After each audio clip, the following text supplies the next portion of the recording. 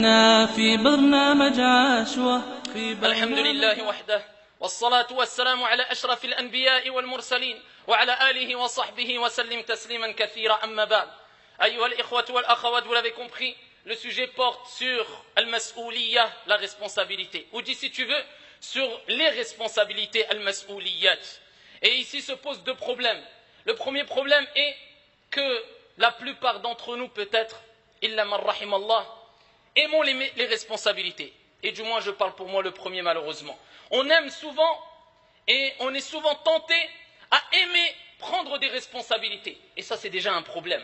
Et le deuxième problème qui se pose, c'est que tout le monde, toutes et tous, on sera tous et toutes interrogés sur toutes nos responsabilités. Donc si, si ça s'arrêtait ici sur le fait qu'on aime les responsabilités, eh bien cela serait une chose.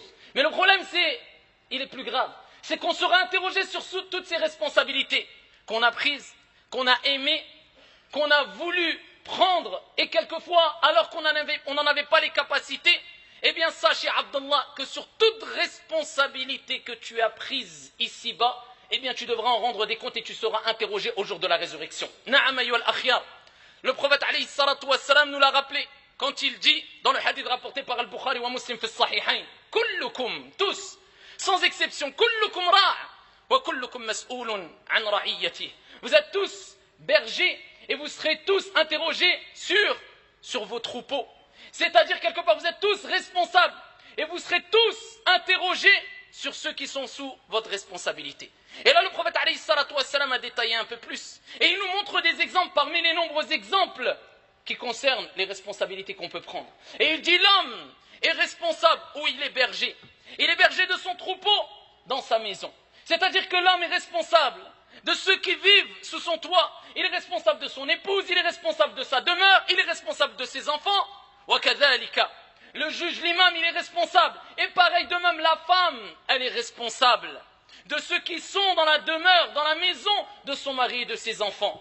Et le prophète, il répète à la fin, vous êtes tous responsables, tous des bergers, et vous serez tous interrogés sur vos troupeaux, c'est-à-dire sur vos sur vos responsabilités. On sera toutes et tous interrogés sur nos responsabilités. Maintenant, Ayyol Akhyar, c'est la question qu'on doit toutes et tous se poser. Est-ce qu'on assume vraiment les responsabilités qu'on prend? Est-ce qu'on n'a pas une certaine négligence quant aux responsabilités qu'on prend et qu'on a déjà pris tout au long de notre vie? Est-ce qu'on est prêt à répondre devant notre Seigneur Tabaraka wa Ta'ala sur toutes les responsabilités que nous avons prises, oui ou non? Et pourquoi pas? Alors que les responsabilités sont tellement nombreuses qu'on peut dire qu'il se elles se décomposent en deux catégories ou en deux parties. Il y a ce qu'on appelle c'est la responsabilité, si on veut, personnelle individuelle. C'est une responsabilité que tu as. C'est quoi? Eh bien, c'est le fait que tu es responsable de ton corps. Et tu as une responsabilité quant à ta relation avec Allah subhanahu wa ta'ala. Donc là, c'est une responsabilité individuelle. Donc tu devras en rendre des comptes. Donc on est toutes et tous concernés sur cette responsabilité. Qu'as-tu fait de ton corps, ce dépôt, cette amana Parce que al-amana, eh bien, on rentre dans al-amana, dans le, dans le dépôt, la responsabilité. Donc qu'as-tu fait de ce dépôt? Tu avais une responsabilité. Tu avais une responsabilité quant à ton corps. Qu'en as-tu fait? Ça, c'est une responsabilité charsiya, personnelle, individuelle. Tu devras en rendre des comptes. C'est pour ça que le prophète alayhi salatu wassalam a dit, comme a sahih, La tazulu qadama abdin yawm al-qiyamah hatta yus'al an arba' Eh bien, personne ne quittera l'esplanade des comptes au jour de la résurrection sans rendre des comptes sur quatre choses. Et parmi ces choses-là, qu'a dit Qu'a-t-il dit le prophète Il a parlé de cette responsabilité individuelle. Eh bien, ici sur ton corps, qu'as-tu fait de ton corps? Ça, c'est une responsabilité, donc tu devras en rendre des comptes. Et le prophète, il donne un exemple, il nous rappelle. Ton corps, cette responsabilité individuelle, tu devras en rendre des comptes. De quoi tu t'es nourri? De la bonne nourriture, pure, saine, halal, licite ou haram, illicite? Est-ce que tu as entretenu ton corps? Sans excès, bien sûr, mais sans laxisme aussi, sans ifrat et sans tafrit est-ce que tu t'es occupé de toi-même, de ton apparence? Allah est beau, il aime ce qui est. Et ta relation avec Allah? Laisse les gens de côté là. Là, on parle de la responsabilité individuelle. Personne ne portera le fardeau d'autrui au jour de la résurrection. Ah, là, ça rentre dans ce contexte-là. C'est-à-dire que toi, tu as une responsabilité quant à tes actions. Est-ce que tu as fait du bien ou est-ce que tu as fait du mal Concernant toutes tes actions, à toi, à toi, ya Abdallah, eh bien tu devras en rendre des comptes, petit ou grand, petite action ou grande action, petit péché ou grand péché, bonne ou mauvaise action, peu importe, ta foi, elle en est où ta foi C'est une responsabilité, ta foi. Eh bien, tu dois préserver ta foi. Eh bien, tu dois préserver le fait que tu restes dans un environnement religieux. Tu dois ici et tu es responsable de ta relation avec ton Seigneur Tabaraka wa Ta'ala. Et tu en rendras des comptes. Au jour de la résurrection, on t'interrogera. Comment étais-tu avec ton Seigneur? Quelle était ta relation et pourquoi pas? Alors que le prophète a rappelé que quand tu seras dans ta tombe, Munkar et Nakir te poseront des questions. Et ils t'interrogeront sur ton Seigneur, ta relation, la responsabilité sharsiya, individuelle. Qui est ton Seigneur? Man Rabbouk Nabiyouk Qui ton prophète Que dis-tu de cet homme qui est appelé Mohammed alayhi salatu Donc tu seras interrogé sur ta religion, ta pratique, ta croyance, ta relation avec Allah, ta croyance, ta soumission au commandement divin et prophétique. Ça, c'est ce qui est individuel. Et déjà, on en aura beaucoup à faire on aura énormément à faire avec toutes ces responsabilités. Mais ça ne suffit pas. Il y a des gens malheureusement qui, même quand ils n'ont pas les capacités d'assumer le deuxième ou la deuxième type de responsabilité le deuxième type de responsabilité, eh bien ils le font. Comme si déjà on n'en avait pas assez à faire avec nous-mêmes, avec cette responsabilité individuelle au jour de la résurrection. Eh bien, ici, il passe directement à la deuxième responsabilité. C'est ce qu'on appelle, on appelle la responsabilité ici qui est amma générale ou bien publique, si tu veux.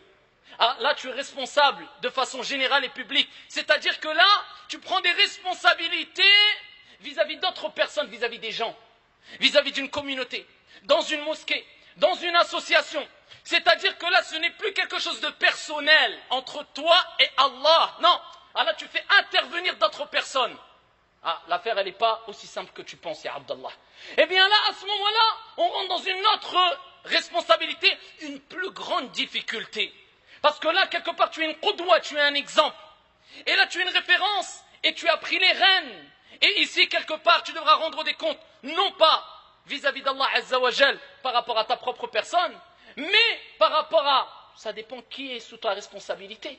S'il y en a 100, eh bien 100 personnes, 1000, 1000. 10 000, 10 000, 100 000, 100 000. Tu es un gouverneur, eh bien tu devras rendre des comptes sur les millions de personnes qui étaient sous ta responsabilité, ya Abdallah. Eh bien dans les deux types de responsabilités, eh bien on trouve beaucoup de ce qu'on appelle al-mufarritoun.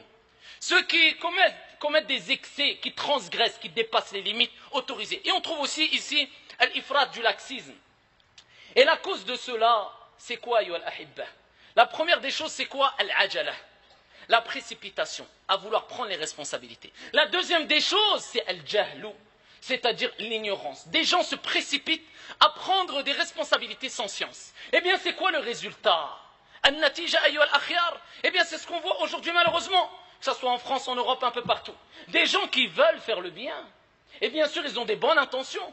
Mais tu vois des gens qui prennent des responsabilités alors que même religieusement, parlant, si ça se dit, c'est-à-dire d'un point de vue juridique, eh bien, ils n'ont même pas le droit de prendre ces responsabilités. Je ne parle pas de ceux qui prennent des responsabilités alors qu'on leur a demandé de prendre des responsabilités et qu'ils les assument pleinement avec sincérité. À cela, nous disons Abshiro, réjouissez-vous. Et la récompense sera grande, et le but, ce n'est pas d'empêcher ou de refroidir les gens à tel point que plus personne ne veut prendre aucune responsabilité. Il y a des moments où on a besoin de gens qui prennent des responsabilités. Et ils ont les capacités de prendre des responsabilités, bien nous leur disons, prenez-les si vous accomplissez ou alors vous arrivez à ici concrétiser cette responsabilité comme il se doit, comme Allah et son messager le veulent. Mais je parle en général. C'est ce que je ressens et c'est un ressenti personnel et je vise ma propre personne, le premier et Allah m'en est témoin. On a tendance à vouloir trop vite prendre des responsabilités, quelquefois on ne se rend même pas compte qu'on n'a même pas le niveau de les assumer. Le résultat, eh bien tu vois quelquefois des responsables de mosquées responsable de mosquée, raïs ou le masjid. Alors que la mosquée à la base elle est à Allah Jalla wa ala. Wa lillah. C'est un waqf. Ah, c'est quoi un waqf? Un waqf, ça veut dire que ça appartient aux musulmans. Pareil, de l'argent qui est géré par rapport ou par certains responsables, peu importe, soit ils sont dans des khayriya, dans des associations caritatives ou humanitaires, mais ils n'ont pas compris que c'était un waqf, que ça appartenait cet argent aux musulmans. et d'autres qui vont il a C'est-à-dire que tu vois des gens qui prennent des responsabilités sans se rendre compte que sur tous ceux qui sont sous sa responsabilité, ou concernant toute personne qui est sous sa responsabilité, eh bien, quelque part, il devra en rendre des comptes. Et il ne peut pas faire n'importe quoi quand il est wakil, gérant. C'est-à-dire gérant. Quelque part, il n'y a pas de président de mosquée où il y a des gérants. Nous sommes que des gérants de l'awqaf, donc des, choses qui sont considérées comme des waqf. On n'a pas le droit de faire ce qu'on veut et on n'a pas le droit de dissimuler des choses qui, religieusement parlant, on doit les mettre ici de façon ou les montrer de façon apparente. Et ici, je ne rentre pas dans les détails car ça serait très complexe et ce n'est pas le, but aujourd'hui. Mais simplement pour vous dire qu'il y a des gens qui ne prennent même pas conscience que c'est une lourde responsabilité, que ceux qui gèrent, ils ne sont que gérants. Et que ceux qui gèrent appartiennent à Allah et appartiennent quelque part, bien sûr, on, on se comprend, aux musulmans. Et là, tu vois que des gens, au nom de l'islam, eh bien, ils prennent des responsabilités. Déjà, ils ne savent pas le gérer parce qu'ils n'ont pas de science. Et deuxièmement, ils n'ont pas les capacités de gérer. Et résultat, tu vois des présidents de mosquées, donc on va dire des gérants, des wakils, parce que normalement c'est un wakil. Eh bien ici, son niveau de science, il est très faible. Il patauge quand il parle des conditions de la prière, ou alors quand il... Tu ne peux même pas rentrer trop dans les détails concernant des, règles jurisprudentielles ou de aqidah, un peu trop dans les détails. Il est perdu, il dit non, demandez à l'imam. Et tout le monde prend des responsabilités, et quelquefois même ces gens-là sont amenés du jour au lendemain. Il est président, raïs, Sara imam. Il devient imam parce qu'il faut boucher les trous. Et après, il devient aumônier. Et après, il devient ce. Donc ça veut dire c'est un peu du dépannage. On fait un peu tout et n'importe quoi. D'autres, eh bien, ils sont responsables religieux quelque part, que tu le veuilles ou non. Tu gères, c'est pas une poissonnerie, une mosquée ou une association caritative. Eh bien, tu as un certain exemple à donner. Tu dois être une qudwa. Eh bien, tu vois qu'ils vendent de l'alcool, ou bien qu'ils vendent al-mukhaddirat, ou bien qu'il fait même pas ses prières à l'heure, la yusalli as-salawat fi waqtiha, ou bien il a akhiri. Mais où va-t-on? Mais billahi alaykum, où va-t-on? Est-ce que vous savez qui est Abu Dhar al-Ghifari radiyallahu anhu Et le hadith est rapporté par Muslim. Abu Dhar al-Ghifari. Celui qui est appelé comme le défenseur des pauvres. Il faisait partie d'une tribu qui étaient connus pour, euh, ici, euh, couper ou être des pirates de la route. C'est-à-dire qu'ils avaient comme habitude de quoi? De voler l'argent des gens. C'était une tribu, écoutez bien et suivez bien, très dure, très forte. Eh bien, ici, Abu Dhar faisait partie de ces gens-là, avant sa conversion à l'islam. Eh bien, ici, il était un pirate aussi de la route. Il volait, il pillait, il a akhéré. Mais quand il a embrassé l'islam, c'est devenu un homme tellement pieux, vertueux, ascète, eh bien que, ici, les compagnons étaient étonnés de lui quant à son ascétisme, az-zuhd, quant à sa piété, at-taqwa, et quant à sa générosité qu'il avait, radiyallahu ta'ala anwarda, jusqu'à ce qu'il a été considéré comme le défenseur de, des pauvres, al-fuqara wal-masakin. Abu Dhar, radiyallahu anwarda, quand il est rentré dans l'islam, il a été voir le prophète, alayhi salatu wassalam. Et ici, il a interrogé le prophète sur son comportement. Parce que le prophète ne voulait pas montrer ouvertement et imposer aux compagnons de montrer ouvertement, dans n'importe quelle situation, le fait qu'ils étaient musulmans et qu'ils priaient. C'était ici les débuts. Il disait aux compagnons, non, ne l'affirmez pas ouvertement et dissimulez votre appartenance à l'islam. Soyez discrets. Abu Dhar, il a dit,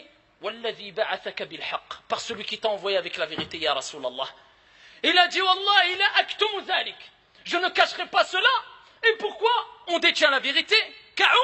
Comme Omar ibn al-Khattab al-Farouq, eh bien ici il est parti directement devant la Kaaba et il a prié et il a assumé les persécutions. Ensuite il s'est dirigé vers sa famille. Il les a appelés à l'islam. Ils ont tous embrassé l'islam. Ensuite il s'est dirigé vers sa tribu et il a été la cause qu'un grand nombre embrasse l'islam. Et c'était parmi les premiers compagnons dans l'islam. C'était un homme fort, pieux, vertueux, investi, qui craignait Allah, qui a reçu l'éloge d'Allah Azzawajal quand Allah a dit radiyallahu anhum wa radu an, liman khashya rabbah. Eh bien Allah les a agréés, il a été satisfait d'eux, ils ont été satisfaits d'Allah. Eh bien Allah subhanahu wa ta'ala, bien qu'il ait été satisfait de lui, eh bien le prophète Ali afdalus salatu wa taslim, quand il a entendu Abu Dhar, comme dans le hadith rapporté par Muslim, qui dit Ya Rasulallah, nomme-moi gouverneur de telle contrée je vais être responsable de telle contrée, je m'occupe d'eux. C'est pas n'importe qui. Et là, j'ai donné simplement quelques, lignes rapides concernant Abu Dhar. Et je vous renvoie à sa biographie, à sa sira. Eh bien, le prophète, comme il dit Abu Dhar lui-même, lui-même, il le dit, sans complexe. Rapporté par Muslim, il dit Il m'a tapé dans l'épaule. Il a dit Ya Abu Dhar, innaka da'if. Allahu Akbar. Il a dit à Abu Dhar, t'es faible. Il a dit à Abu Dhar, t'es faible. Mais il aurait dit quoi le prophète sur nous?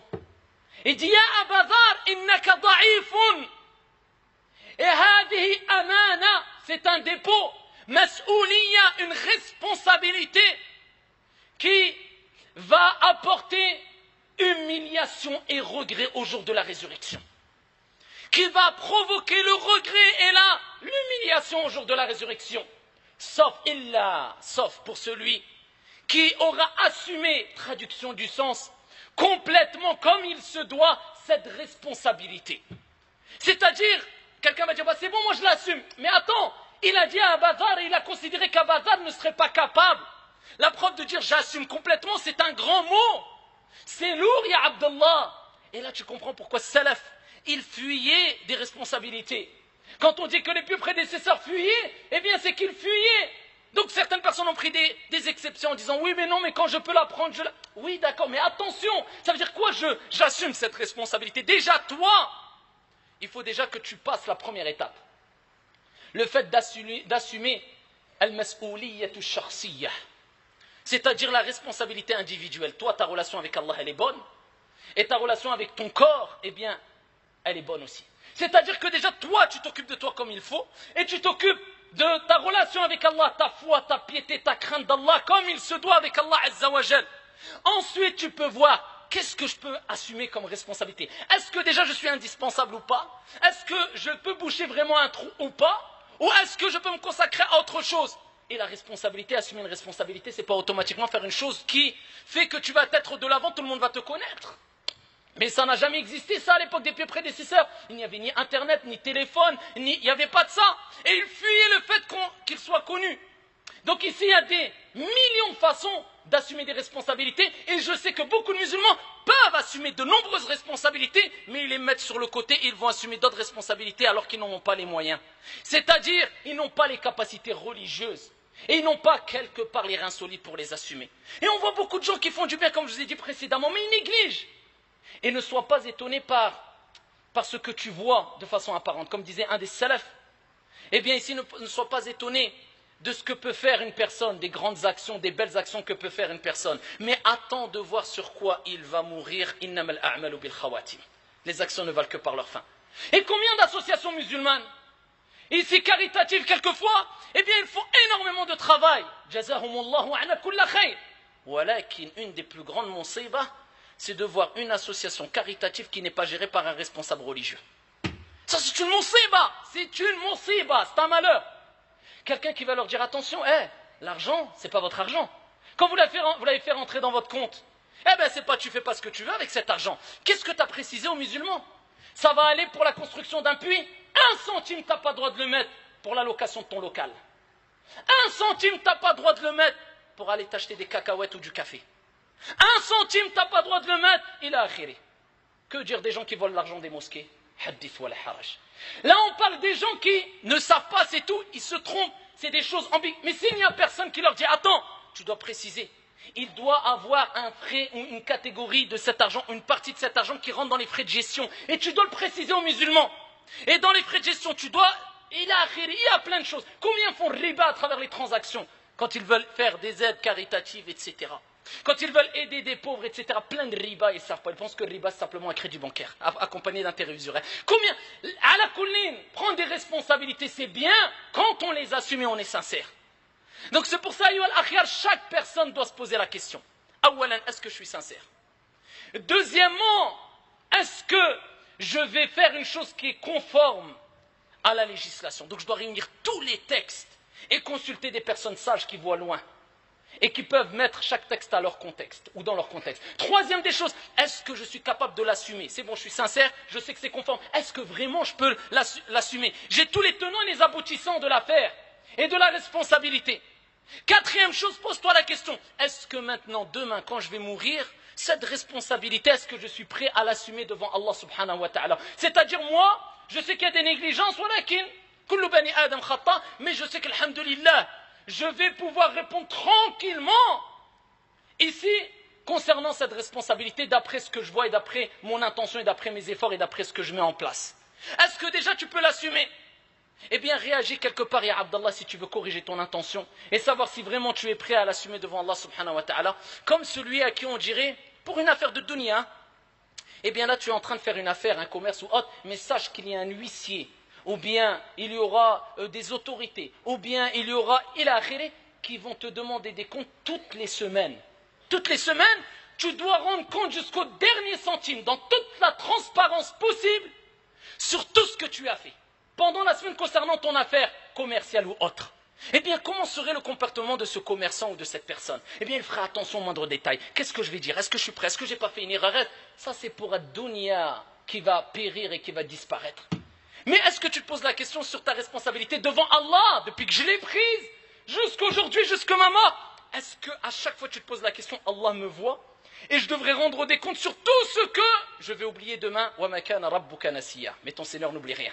Est-ce que tu es vraiment prêt? C'est oui, Abshir, tu es dans un khir. Les meilleurs des gens sont les meilleurs, les plus utiles, les plus bénéfiques pour les autres, Abdallah. C'est un bien. Mais ici, tu dois réunir des conditions. Comme Youssouf, salam, certes, il a demandé la responsabilité, mais il était dans un contexte, il était dans une époque, il était dans un endroit bien particulier. Et il a dit,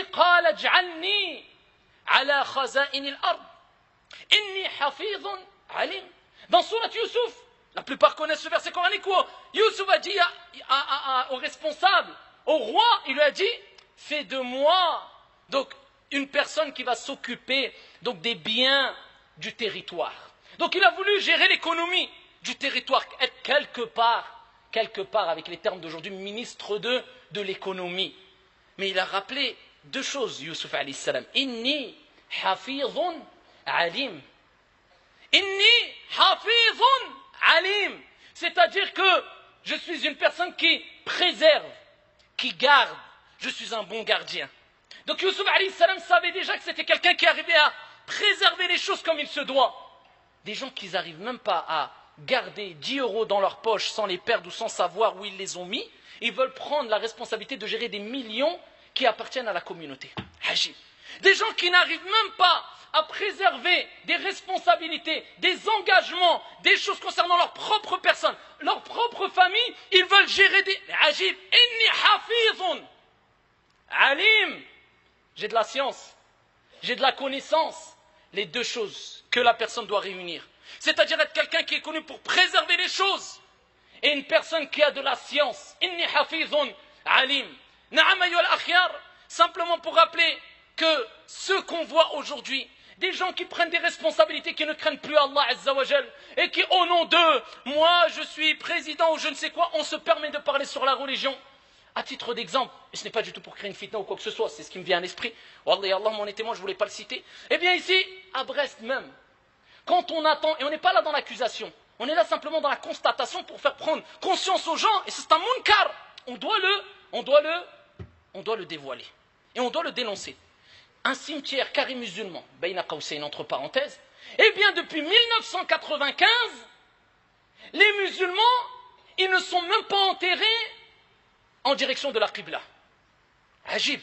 Mais c'est quoi cette musiba Où va-t-on, billahi alaykum من أخذ هذه المسؤولية واتفق الأئمة والفقهاء على أن الميت يدفن في قبره على شق الأيمن مستقبلا القبلة عجيب alors que les fuqaha sont d'accord et bien sûr que ici ils sont d'accord sur le fait que c'est une sunna ce n'est pas obligatoire mais quand même ils sont d'accord sur le fait que le musulman doit être dirigé en face de la qibla c'est-à-dire il doit être mis sur son côté droit et bien le visage en face de la qibla le visage en face de la qibla eh bien depuis 1995 ils enterrent les morts avec quoi? La tête en direction de la Qibla.